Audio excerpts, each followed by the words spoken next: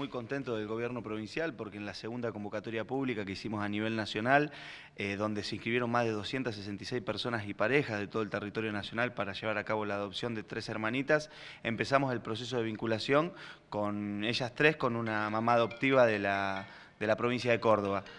realmente esto para nosotros es, una satisfacción, si bien es un momento crítico que hay que darle espacio y, darle reserva porque es el momento donde se van conociendo, ese proceso ya se inició y en muy poco tiempo, ¿no? porque nosotros cerramos la convocatoria el 18 de mayo y hoy que estamos en los primeros días de julio ya tuvieron el primer encuentro y esto va demostrando que los procesos de adopción se pueden mejorar, se puede trabajar y que le podemos encontrar un hogar a todos los niños sin importar la edad. Eh, esto está ocurriendo también, digamos, además con, digamos, con otras situaciones, más allá, digamos, este caso fue conocido porque se hizo una convocatoria pública a nivel nacional, digo, pero los procesos también se ven eh, reflejados, que son eh, mejores o, más rápidos quizás. Mira, nosotros en el año 2016 tuvimos en toda la provincia de Santa Fe 49 adopciones que pasaron por el sistema del Ruaga. En el año 2017, luego de toda una reforma integral al registro, al sistema de, registración y demás, pasamos a 102 adopciones. Y de lo que va de este año, tenemos 91 chicos y chicas que están en proceso de vinculación. O sea, nos está demostrando que la mejora en el sistema mejora los plazos de la, esta etapa de, la adopción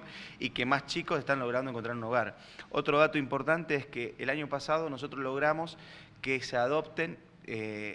38 eh, chicos y chicas de más de 10 años, que antes casi no teníamos adopciones de adolescentes. Y de lo que va de este 2018 ya tenemos 28 chicos y chicas de más de, 18 años, de 10 años que están en proceso de vinculación.